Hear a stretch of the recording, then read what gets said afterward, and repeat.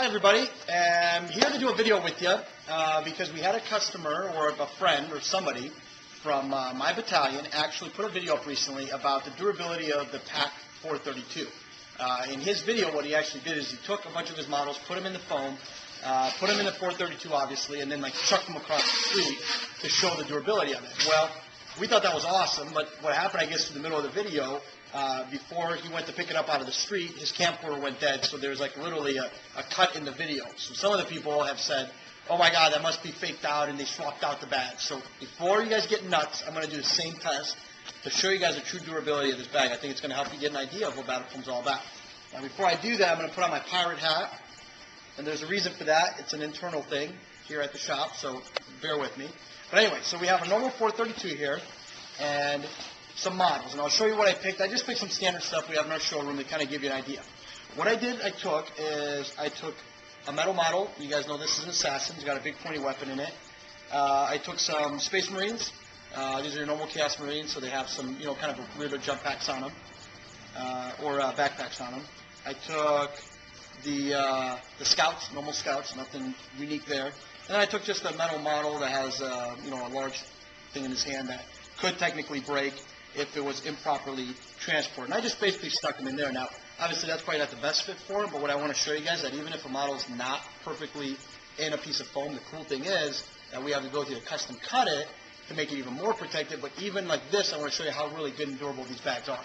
Uh, now, in the uh, vehicle section of it, I took some uh, Rhinos, which are obviously pretty popular models, uh, and what I did is I double stacked them, and I double stacked them for a very important reason.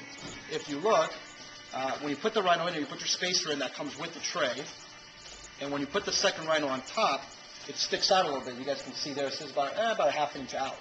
Um, and we have a Land Raider and a drop pod. So these are pretty popular models. They're, most everybody that plays Space Marines or some form of, of Marine armies have something like this. The thing about it that's cool is that you have an item that's protruding out, which technically would seem unsafe. You have a large model that's heavy and bulky that should break. You have a drop pod that's very uniquely shaped. And more than anything else, I even took one of these ironclads that have the removable hands and threw him in here just to show you guys that even with the model bouncing around in our foam, it's so protected that it's not going to cause any sort of problem. So I'm going to throw that guy in there like that, and I am going to put a spacer between it. And This will take care of the protruding model that sticks out right there. I'm going to take a, an empty tray just for filler purposes. Obviously, if you had models, you can fill that up, but for the purpose of throwing this around, you don't really need it. I'm going to take another spacer, which is what comes with the bag, and put that piece of foam right there. Now we're going to slide it in into the bag, and as you can see, there's no cuts in this video. Everything is to par. Now, the other thing about it is, I'm going to show you guys, this is this is a bag that is a, a standard 432 with a hard plastic case. I'm about 185 pounds. First thing you can drop the bag, and you don't have to worry about it. It'll hold your weight. So I'm a 145 pound guy sitting on top of this bag, and we don't have to worry about the bag getting crushed. Uh, that's not something you can do with many other bags. Now, for the true test, right? Got a bag like this. First of all, that's probably how baggage handling does what they do with your products. You're going to take this bag, and we're going to chuck it. Now I to get it. So watch the video. There's no cuts. There's nothing weird going on. Bag's still intact. Still the same case. Now let's see what we got in here. Let's see if we have broken models.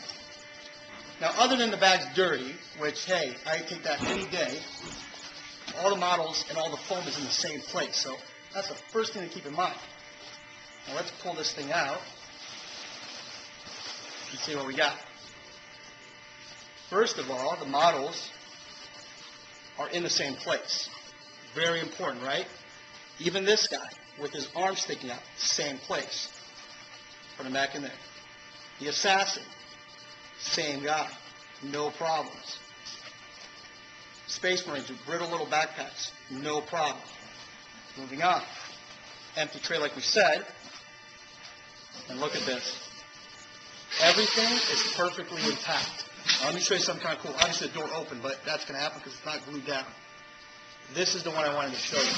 That guy bouncing around in this foam. We just threw him 30 feet. I sat on him. his arms still come off like they did before. They still go on the same. That comes off, goes right there. Still a perfectly good model. My Land Raider, by the way, my beautifully painted Land Raider by a friend of mine who is awesome at painting, may I add. Brian Shaw, props to you, my friend. Beautiful tank. I still love this thing. But look at this guy. I threw this model. This guy probably spent, I know I spent a ton of money on it for him to paint it for me, but he spent a ton of time painting this. I'm that comfortable with it that I would take my freaking Knights and just basically chuck it across the room.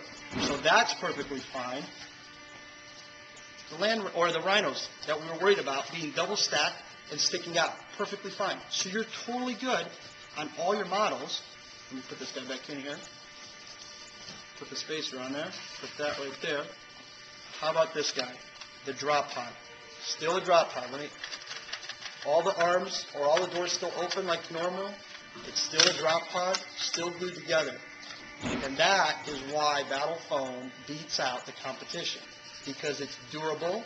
I just showed you. No cuts in the action. This works for our whole line. Our bags that we're building now are even more durable because we know even more about the foam quality, you know, even more about consolidating the space, and even more about being a pilot. So if you can do all that and you can still get your models to your safe place, guys, the video speaks for itself. Make your own decision. And we just reduced the price on this. So all I got to say is battlefoam.com, protecting your army. Thanks.